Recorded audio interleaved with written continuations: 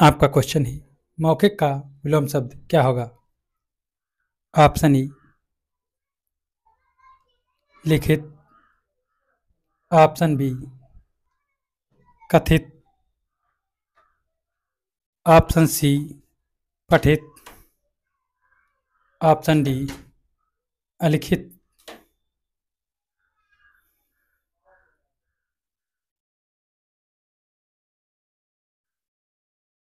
आपका सही जवाब है ए लिखित अगला क्वेश्चन है। कौन सा जीव खड़े खड़े सो जाता है? ऑप्शन ए भालू। ऑप्शन बी भैंस। ऑप्शन सी गाय। ऑप्शन डी घोड़ा।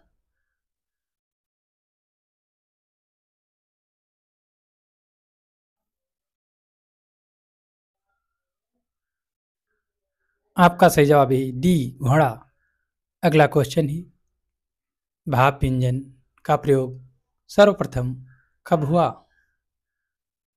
ऑप्शन ए अठारह सौ दस में। ऑप्शन बी अठारह सौ बारह में।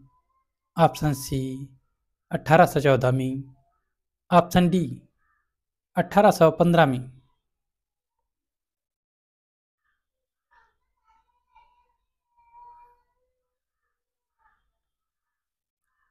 आपका सही जवाब है सी, अठारह सौ चौदह में। अगला क्वेश्चन है, सर्वप्रथम भाप इंजन का प्रयोग किसके लिए किया गया? ऑप्शन ई यात्री ले जाने के लिए। ऑप्शन बी कोयला के, कोयला ले जाने के लिए।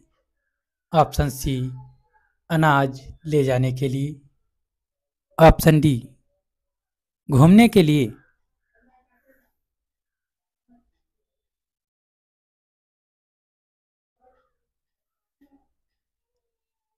आपका सही जवाब है बी, कोयला ले जाने के लिए।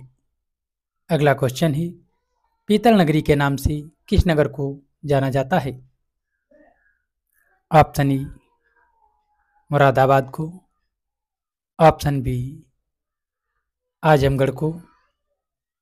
ऑप्शन सी शिमला को। ऑप्शन डी कानपुर को।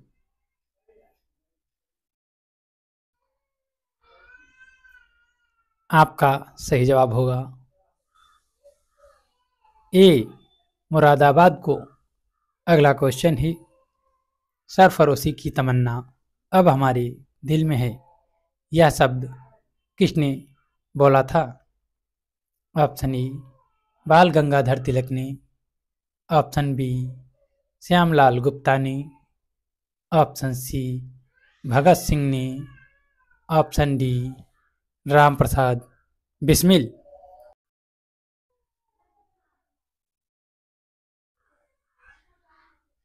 आपका सही जवाब होगा डी राम प्रसाद बिस्मिल। अगला क्वेश्चन है। बिच्छुआ, कहाँ का लोक नृत्य है? Option A Assam. Option B, Kerala. Option C Orissa option D Tamil Nadu.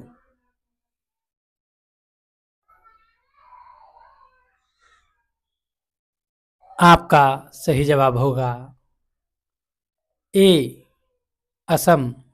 अगला क्वेश्चन ही, एक रुपए के नोट को कौन जारी करता है?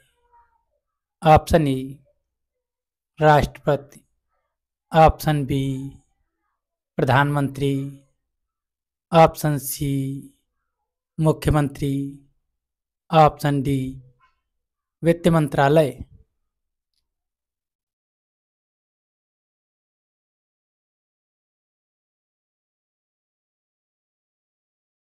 आपका सही जवाब है डी वित्त मंत्रालय।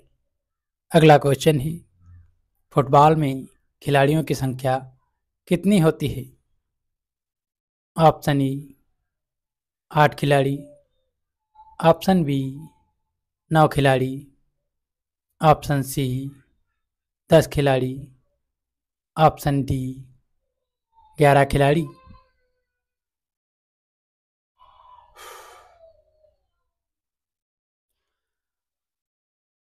आपका सही जवाब है डी, ग्यारह खिलाड़ी। अगला क्वेश्चन है विक्टोरिया महल कहाँ स्थित है? ऑप्शन ए, राजस्थान में। ऑप्शन बी, दिल्ली में। ऑप्शन सी, कोलकाता में। ऑप्शन डी, कानपुर में।